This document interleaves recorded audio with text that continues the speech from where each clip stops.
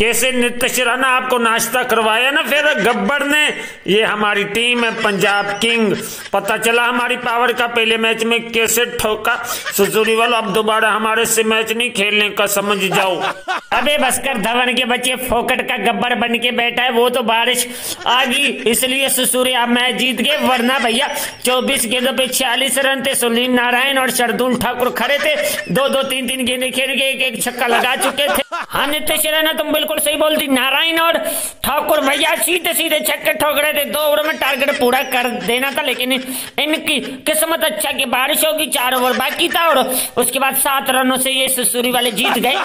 अबे चुप करो सुसूरी वाले तुम्हारे बस की बात नहीं थी। बारिश ना भी होती तो एक ओवर अर्शदीप का बाकी था। हमने आधा शतक ठोका अर्शदीप सिंह ने तीन विकेट ली पहले ओवर में दो विकेट लुढ़का के आपकी तो नैया डुबो डाली। छोड़ यार राजा पक्सा ये अब हार जाते इसलिए बहाने बनाते इनको बहाने बनाने दे भैया। इनके बस की बात नहीं थी ये सामने हमारी टीम थी। पंजाब किंग और बॉलिंग में मैं था अर्शदीप सिंह अभी तो आखिरी ओवर में दो तीन विकेट और लेनी थी। अबे चुप कर तो सिसुरी वालों पहले रिमानुल्ला आउट होगी उसके बाद मैं भी आउट हो गया। आंद्रे रसल मेरे को जानते उन्नीस गेंदों पे पैंतीस रन ठोक चुका था छक्के चौके लगा रहा था।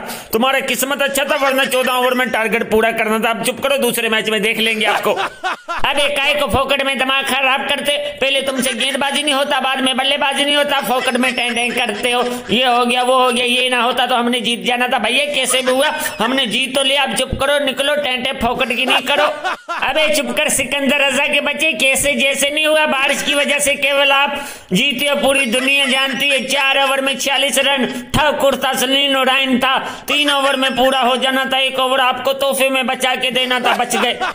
अबे, बस कर यार, रहने दे। यहाँ आपके बड़े बड़े बल्लेबाज कुछ नहीं कर सके। नारायण और ठाकुर ने क्या कर लेना था। एक एक छक्का लगा चुके थे, उसके बाद उन्होंने आउट होना था। तो आपने तीस चालीस रनों से हारना था, बारिश की वजह से बच गए, सात रनों से शिकस्त मिली। अब चुप करो। हाँ धवन भैया, सही कह रहे हो, इनकी इज़्ज़त बच गई, वरना अगला ओवर फिर मैंने लेके आना था। तीन विकेटें बाकी थी, तीन की तीन उड़ा के मैंने अपनी छह विकेटें करनी थी। इनकी किस्मत अच्छी, मेरी किस्मत खराब की बारिश होगी, वरना इनको अलाउट करके मैं जीतना था तीस चालीस रन से। अबे सुरी वाला तुम ये कैसा बात करता? नारायण और ठाकुर ने मार मार के चमड़ी उधेरनी थी छक्कों की बारिश करनी थी बच गए ससुरी वालों, असल में बारिश होगी, इज़्ज़त बच गया।